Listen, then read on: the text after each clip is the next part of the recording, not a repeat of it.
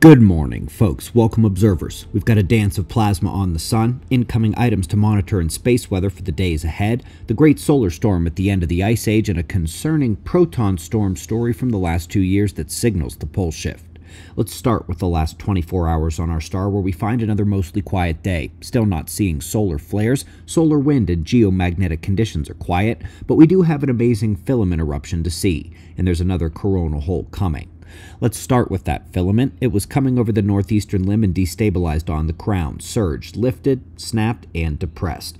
Sequence unfolding here, it will either grow back today or collapse entirely.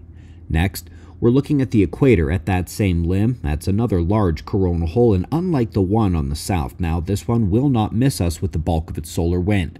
Eyes open for that next week. Hearing grumbles from the workers at JPL over this one? Silence. Get back to work, nerds. Anyway, I'm sure many of you have heard about this one, a solar storm above anything ever recorded 14,000 years ago. Now, they used carbon dating, which means that date has a 99% chance of being very wrong, too old, and if I had to guess, I'd say about 12,000 years ago. Why? Because it was anywhere from slightly bigger to 10 times the Charlemagne event in the 700s.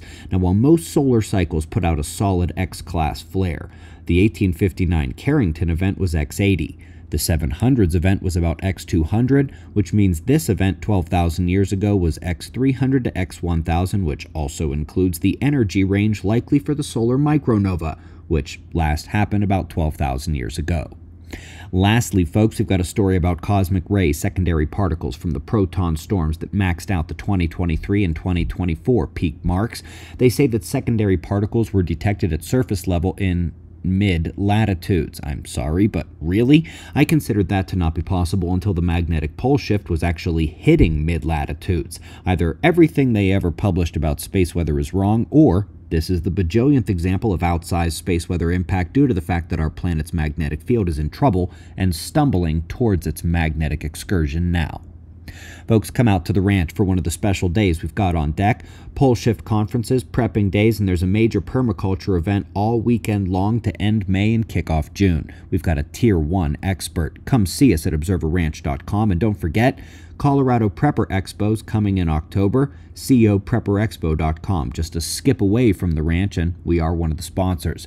We'd love to see you out here. ObserverRanch.com, and we greatly appreciate your support. We'll do this all again tomorrow, right here, but right now at 6 a.m. in the new Valley of the Sun. Eyes open, no fear. Be safe, everyone.